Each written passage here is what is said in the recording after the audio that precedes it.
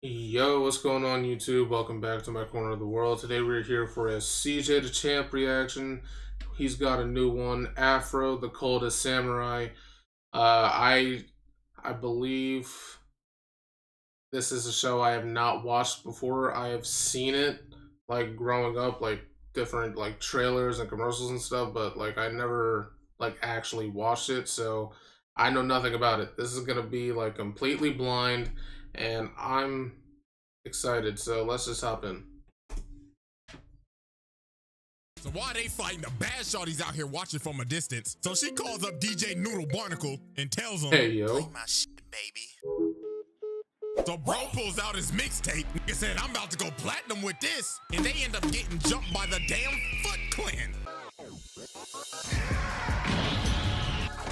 Sounds interesting.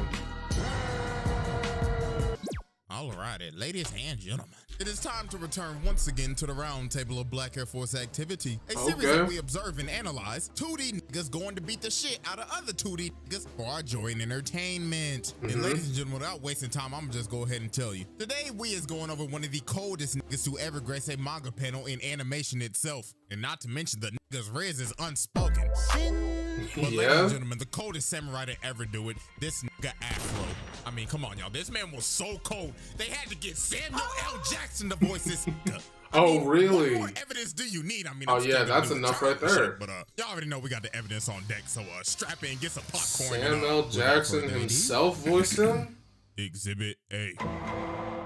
That's enough to be put on the ladies table. and. Now, to understand how this man became the coldest nigga to ever walk the earth, we got to go back to the past. Now, as we can see, Afro is a little ugly ass jit. I ain't even gonna lie to you. You cannot tell me that bro is not built like the black ass NPCs from Sonic Unleashed. Stop. Big ass bobblehead. This nigga is a Funko Pop. And then look at this man, dad. This man looking cold as a mug. So Afro's dad has the number one headband. And you see, the number one headband in this world basically means you is the coldest man to walk the earth. You is him.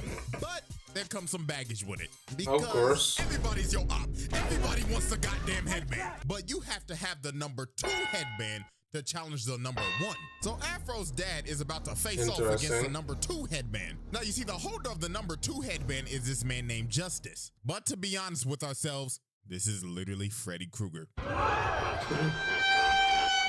Bro decided to make a guest appearance. So this man Freddy wasted no time. Bro pulled out the dual revolvers and started blasting. But that man Afro's dad was the coldest man on the earth for a reason. He started blitzing. Hey, yo. And this man on his heels tiptoeing back to Elm Street. So as he has bro right where he wants him, he goes in for the kill shot. But unfortunately, Freddy had tricks up his sleeves. He decapitates this nigga right in front of his son. Bro, what? Fatality. And then this man picks How'd up he do his that? head, takes off the number one headband, and throws it at this little nigga. He said, here's your nappy-headed ass daddy head, boy. So then he walks up to Afro, that's this cold, man. traumatized kid that just saw his dad's head get cut off, and he says, ooh, it's unfortunate you had to see that little nigga. Ah, but it's all good, though. Because guess what? You fed or what? New op pack in the air, this gas what? Still be alive right now if you nigga. It's a pack watch on Elm Street, nigga! The fact that he literally pulled out a pack is crazy. He actually pulled out a pack and started smoking. That that is like peak level disrespect. Bro. Oh my god. Just witnessed Freddy Krueger put his dad in a pack and smoke it right in front of his That's face. His quest crazy. for revenge began.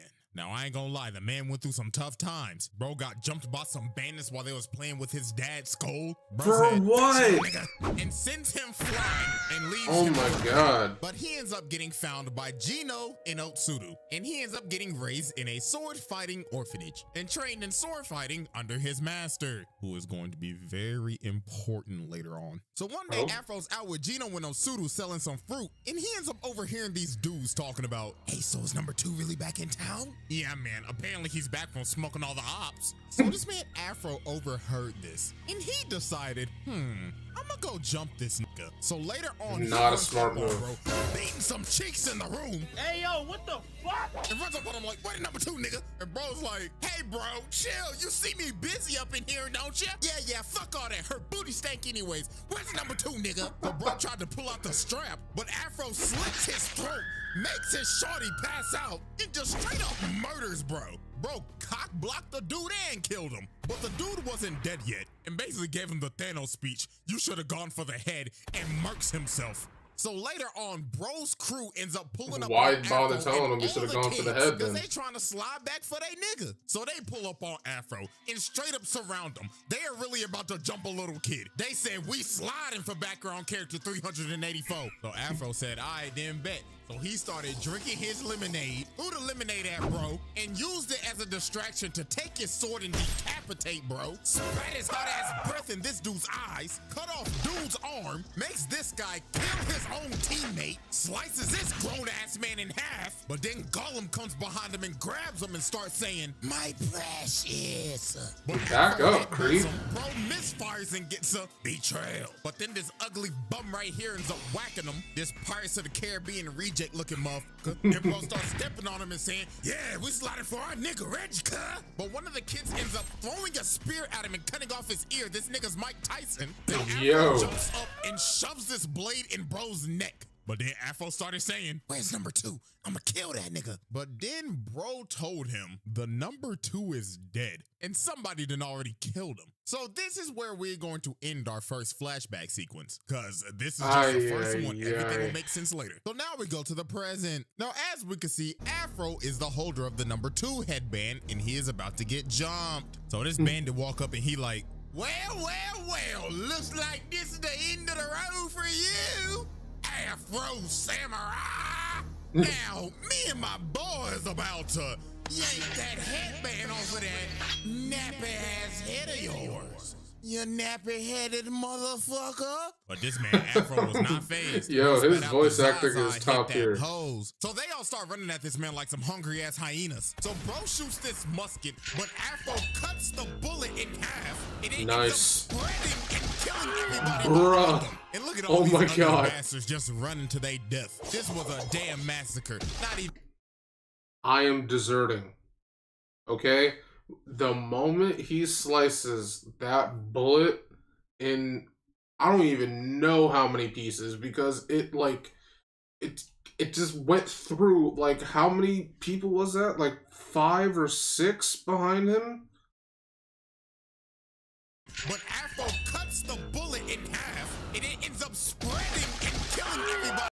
All those guys right there. As soon as I see that, I am gone. Like that was just one bullet, bro. Just one. Like could you imagine what else this dude is capable of? No, I'm I'm gone.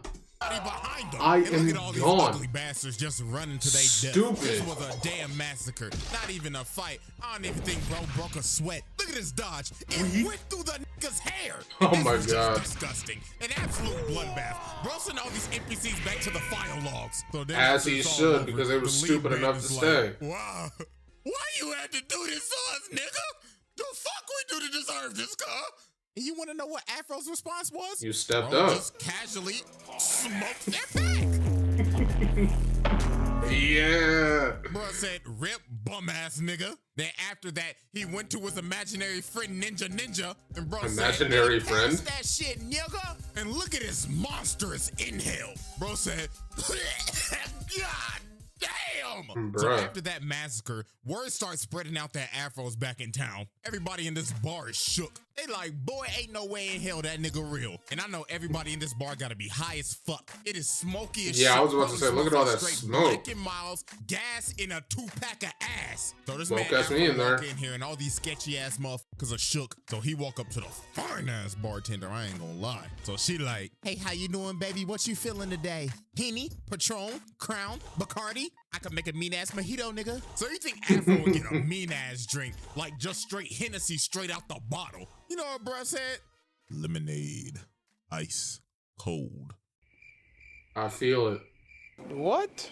Embarrassing. well, everybody like, hey, what the fuck, old soft ass nigga? Look at this big black nigga looking like. What? Bull He choosing not to drink. What's wrong with glass that? of lemonade. And he's like, yo, pussy ass nigga, you must drink a man's drink, huh? But Afro lifted up his hand, and Shotty was like, another one on his tab. So then Big Bro Uh-huh. tried to swing at him, but Afro backhands bro and sends him in the spin cycle. As he Look at should. this unspoken Riz. She was like, God damn. So Afro pulls out this crazy ass Yo, this looking straw, music. And she was like, Damn, you cold as hell. and bro took a mean ass sip and said, And after that, it was wrapped. The bartender was ready to give up the poom poom. So after Oh? Afro left the bar, Okay, Afro. from the bar followed him, and he ends up pulling out this big ass crossbow and just started shooting. Bro came ready to hit him. There's So no Afro way. was blocking all the arrows. Bro got desperate, so he pulled out the noob tube. Bro said, "I'm getting that headband at any means cost." But Afro came down and Hey, like, yo. Bro What is stabbed his him in weapon head. Bro said, "Night, night, motherfucker." But after he watched this idiot, is where stuff got crazy. This big ass nigga comes from the top of the cliff, pulls out a fucking RPG, and bro shot that thing, and Afro got blown off a cliff. On That site? For- for what? So What- what did Afro he do? Blown off a cliff. He ends up getting found and taken care of by this. Oh my god, just yacht of a. I, I- I guess when you just the number two coldest nigga in the world, you usually get all the bad bitches, don't you? But Shawty I was guess. so bad, she even had this man Afro mesmerized. He ended up Yeah? seeing her butt booty naked. She looked at him like, "Hey," and bro just looked at her and said, "Yacht." But little did Afro know, Shawty was two-timing him the whole time. Of she course. was working with the goddamn Peanut Head Collective, the ones that shot Peanut Head off the cliff. So she asked him to stay. She like, hey, um, so can you uh watch these fireworks with me? So they went outside, started watching these fireworks, and she just got freaky as shit. She started rubbing up on this man's arms, started kissing him. So obviously, that man Afro was like, oh, I'm busting the shit out of this. yes, sir. yeah, uh, you know what happened next. That's not what R&B happened, music, though. nigga. Oh, it did? These are my hands, YouTube. Well, I am My hand. that. As you can see, I'm just clapping to congratulate a young nigga for getting some ass. oh my god, it is really so unfortunate that he actually has to say that for the guidelines. Oh my god, stay getting uh, monetized, bro. To congratulate a young nigga for getting some ass. he shows his So after Afro face. dropped off the Oh my god. destruction, Shawty said, But they actually went there, though. I was she shocked. ends up betraying the League of Peanut Heads because she was like, nah, I can't do this. The BBC too good. But actually, the reason was this is actually his childhood friend Otsuru the whole time. The one that Oh. straight up found him when he was left for dead. And she said she wanted to watch the fireworks with him before she died. So while they having this sentimental ass conversation, they end up getting ran up on by the ops. So Afro's telling this shawty, you need to get the stepping button. And the peanut head on top. Oh like, my god. bitch letting the BBC hypnotize you and Bro. shit. And then they just straight up burnt the house down, bro. And this man, Afro, was hurt. But this done made the man even more revenge driven. Bro, it's like, first my dad, now my shawty. Nah, This man about to turn into. John Wick. Like, what are y'all he doing? Start talking, saying, hey, my brother, I mean, at least you got the hit. Keep the she gave you and pick out that nappy ass head, boy. Stop. So Afro goes up and runs up on the Empty Seven clan, or basically what I've been calling them the whole time, the League of Peanut Heads or the Peanut Head Collective. I mean, they basically the League of Shadows with peanut heads. But anyways, they ended up making a robot clone of this man. Look at his blood, his Hey, face, yo. his doppelganger. Bro doing the same thing that he doing. So Afro started getting into it with the Afro bot. But I ain't gonna lie, Afro was getting whooped. And then the peanut heads on top like, yes, my brothers, witness that nappy-headed ass nigga get his ass whooped. But that man Afro had to lock in, so that man had to unlock the earliest Ultra form Ultra Instinct. Instinct. But we ain't know what the hell to call this back in 2007, so he unlocked the power of Bob and Weave. Look at his elegant ass jump. Then he just slices bro right down the middle. Made light work of that phony ass AI. So later on, while he's basically raiding their palace, he ends up running up on this one peanut head, and bro is just sitting there with some damn headphones on his head. I don't know what bro listening to, but it sounded like he listened to some Carti leaks. Bro saying, She sucked on my dick. I beat out her back. Under the floor. Just that BBC. Hey, yo, just starts pouring some CJ. tea, then just starts bowing down saying, please just let me listen to my Carti leaks in peace. So after Afro passed him, he Hey, I feel it, though. on the Dude, just big-ass listen to him, listen to shot him off the cliff. But Afro made short work of this bozo. Bro came from the roof and said, this is for my shorty. But then dude spawned more peanut heads from his backpack. This nigga is Cell, bro. Just pooped out the Cell Juniors. So they straight up surround him. So this one run at him, but Afro shoves the sheath of the sword in his chest. And Not he just even the throws him actual at the sword. Other dude, That's and bro's like, oh shit. Get off me, brother five! But Afro just picks up their sword and just makes a peanut kebab. So about five minutes later, he walks into this next room, and Blood right here think he playing Splinter Cell. Bro thinks he's camouflaging the bodies with his night vision, but this man probably had the most brutal death in this entire show. So he trying to sneak him, but then he looking in the thing, he like, wait a minute, where he go? Afro pops this man's eyes out, then shoves the thing in his eye sockets. Oh my goodness. But nah, what's even more crazy, this damn Afro bot came back. So then they start having the fight of the century. This hoe goes up to Come, and then they just start fighting while falling through the clouds. But that Okay. Afro got a good stab on him, and the robot was like, oh shit, danger, danger. And Afro just slams the robot back into the palace. And then the sword comes down right into its head, and the robot ends up blowing a load. Pause, but, but literally. Whoa, what? Said, that felt good. So after Afro cooked the entire league of peanut heads and spun back for shawty, he ends up running up on a man with a teddy bear on his head. And he's like, I've been waiting a long time for this, Afro Samurai. This nigga is breathing and sounding like Darth Vader. This man, Samuel L. Jackson, must have loved that role as Mace Windu because this entire fight was a Star Wars reference. But Was it man, actually? Afro does not draw If so, that's actually sword, kinda and he just starts sweet. running away. And then he started getting cooked a little bit. So Teddy Bear Darth Vader's like, How dare you mock me, nigga? I mean, you're already one with the dark side, are you not? Hey, nigga, that's kind of racist. Quiet, you ignorant imbecile. I'm just speaking the facts. I thought he was jumps up and imaginary. slams him through this entire building. Can he So see then Afro's imaginary off friend? teddy bear mask, and this is his other childhood friend, Jinno. So now we end up moving to What our up with him second going flashback with this, uh, and how this man? Afro actually got the number two headband. So do you remember his master that took him in and raised him and trained him in sword fighting? Yeah, uh, Brody had the number two headband the whole time.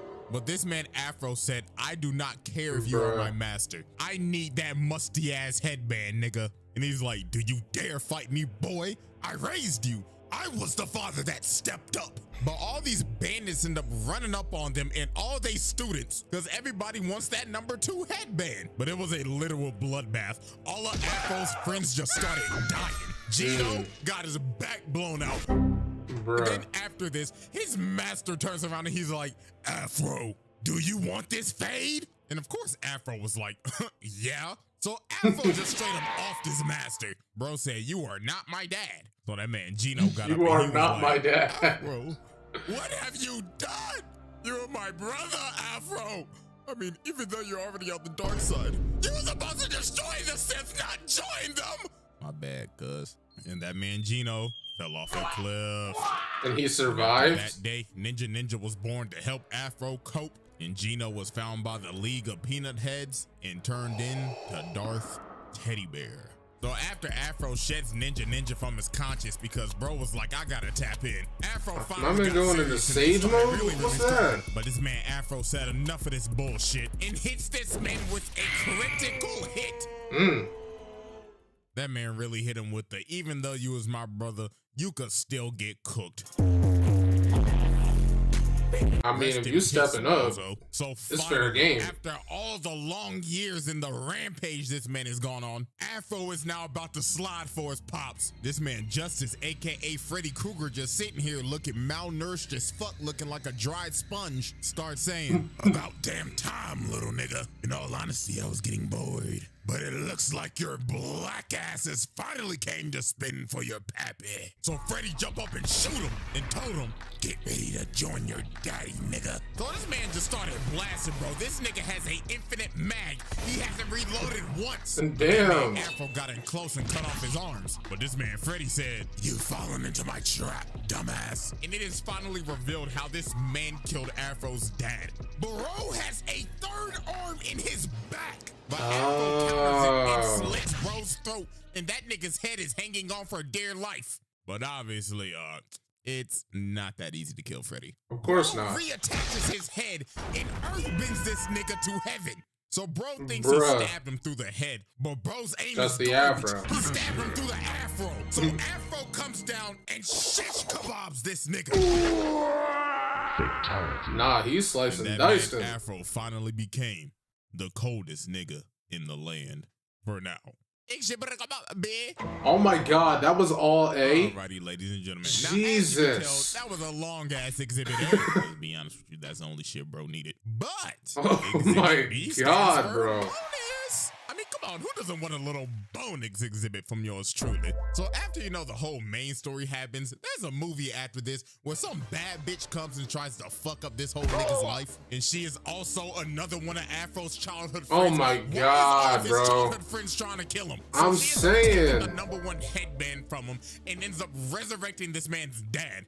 But what we are gonna be focusing on is actually none of that. There is a certain fight in this movie that will dead ass make you question your morals. And you will realize, even though this man Afro is the protagonist, this man is no damn hero. So since Afro lost the number one headband, Afro had to go and search for the number two again. So later on, while he's on his journey, he runs into some motherfucker looking like he just got off the set of Pocahontas kidnapping some kid. But Hey, yo. started shitting bricks when he realized, oh shit, nigga, that's Afro. So bro tried to shoot him with his shorty, but that man got cooked in like 0.5 seconds. Of Blood course. got his face sliced off. So then this man's dad comes and he's like, Hey, bro, I appreciate you saving my kid and everything, dude. Judging by your appearance, are you here for Rolling Loud, bra?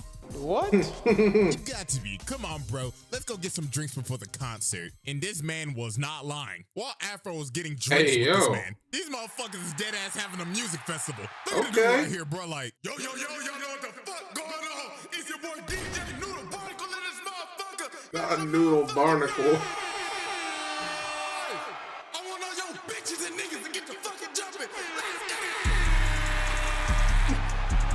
Okay. DJ Noodle alert. What? DJ Noodle alert.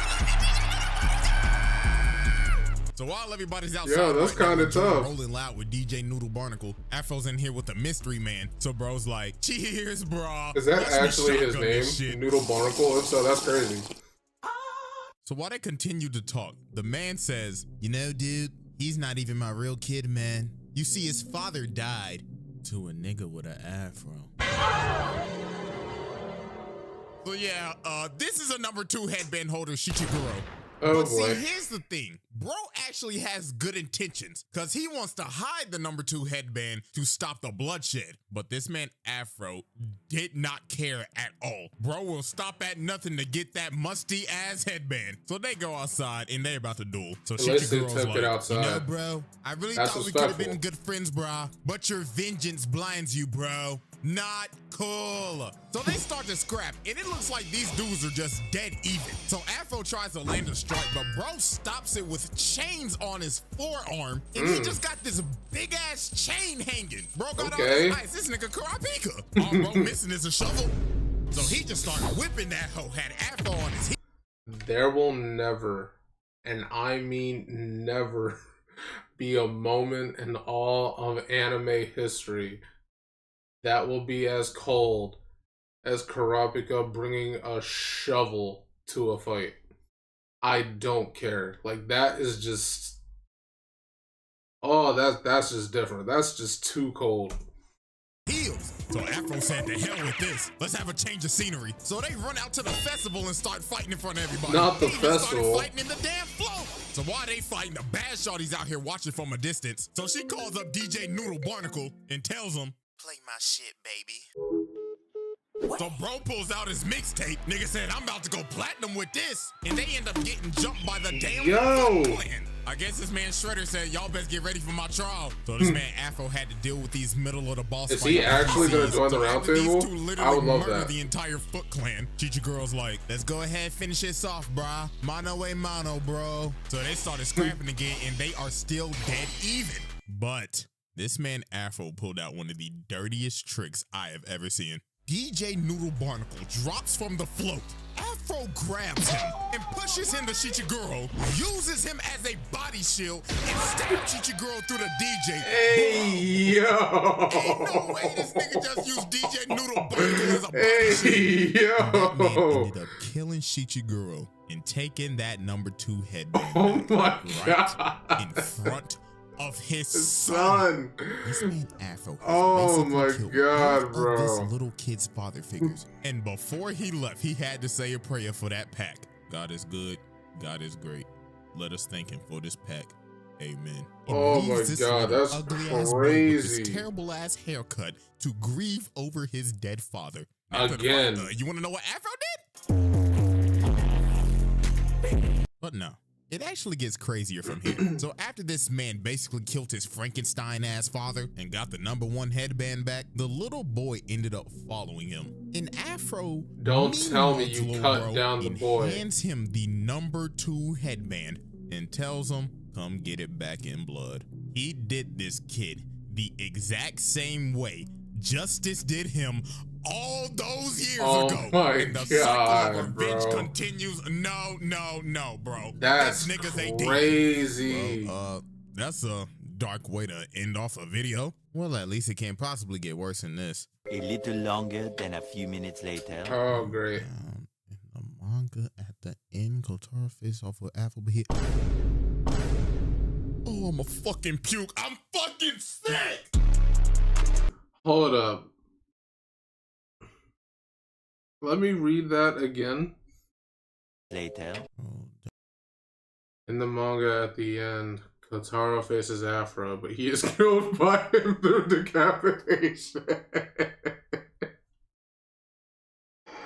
oh my god. the manga at the end, Kotaro faces off with Apple, but he. Oh, I'm a fucking puke. I'm fucking sick.